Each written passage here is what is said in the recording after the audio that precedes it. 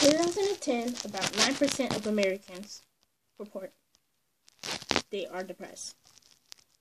At least occasionally, 3.4 suffer from major depression.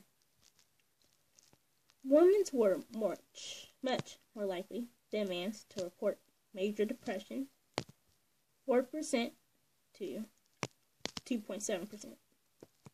Reports also say 6.7% with no high school diploma were depressed.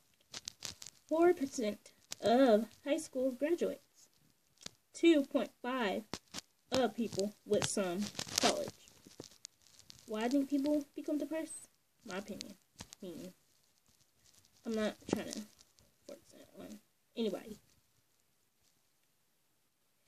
They keep on focus on the negative, what I should have done, what I could have done, our loss, or the past, instead of today, the future, now. I was depressed.